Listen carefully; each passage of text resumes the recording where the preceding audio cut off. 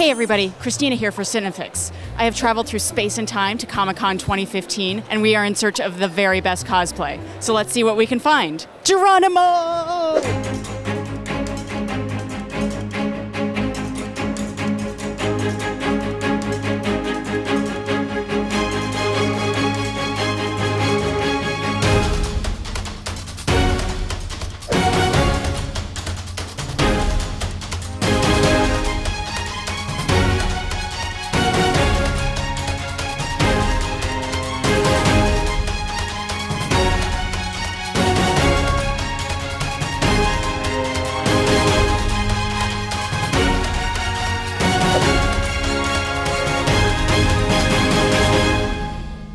Hey everybody, I'm the doctor. This is Star Lady. So, what track are you listening to right now on your Walkman? Uh, actually, I got some new stuff recently. Really? Yeah, it's like from the 70s. You seem to be missing some headgear. What happened? Uh, it's hot, and why would I cover this? He makes an excellent point. So we've traveled back to the 19th century. I have met up with uh, some folks from Penny Dreadful. Now, if you could be your characters for one day, what do you think would be the best thing?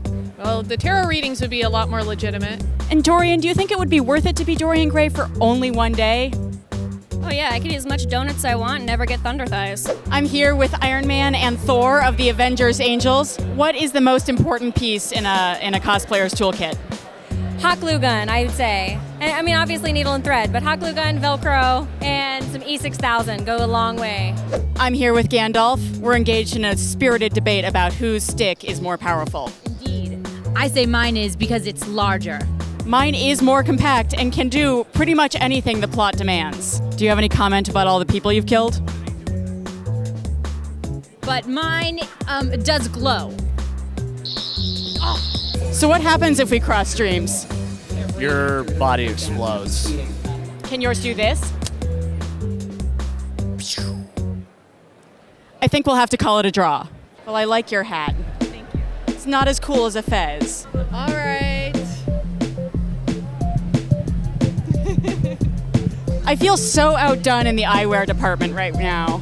Some fellow space and time travelers have caught up with me here. What are your plans for the Earth? For the Earth, uh, to assimilate it, of course. Do you know anybody by the name of Cyberman? I don't, no. Let's certainly try to keep it that way. Do I know you? I don't know you yet.